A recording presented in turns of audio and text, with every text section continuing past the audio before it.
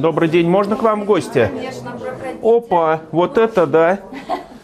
Ну-ка, ну-ка, это чей такой? Кот Кузя – личность легендарная. Вместе с десятилетней Аней и ее бабушкой семь месяцев провел в бомбоубежище на самой линии фронта. Пришли еще, было холодно в этом бомбоубежище. Мы спали, я вообще на лавке спала, там какое-то одеяло подстелила.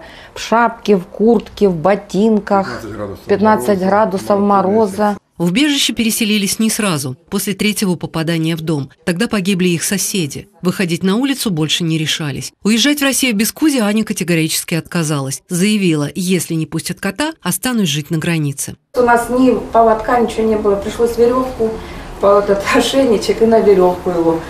Ну, молодцы там ребята и поняли, на границе все. Они говорят, а котик, ну проходите, проходите с котиком. С начала весны в Самарскую область приехали уже более 2700 вынужденных переселенцев. Сегодня они живут в 15 пунктах временного размещения. Забота о них для членов общественной палаты приоритетна, без мелочей. Вникают в любые детали, от бытовых условий до помощи с обучением. Огромное спасибо Губернской думе, правительству Самарской области, профильному министерству Минсоцдемразвития за то, что все их вопросы, они в принципе решаются в режиме реального времени.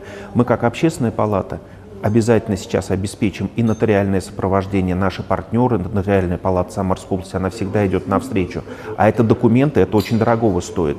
Конечно, а, Минтруд здесь необходимо задействовать для того, чтобы людей обеспечить возможностью зарабатывать деньги. А нам нужны рабочие руки. Многие из вновь прибывших уже решили, что останутся на Самарской земле. Свои руки и навыки электромонтера готов предложить региону глава молодой семьи Александр. Их второй сын родился уже здесь, в Самаре. Покидать родину ребятам пришлось в спешном порядке. У нас уже сроки подходили, и вот мы до последнего как бы терпели. То есть в поезде ехали, чтобы не родить там.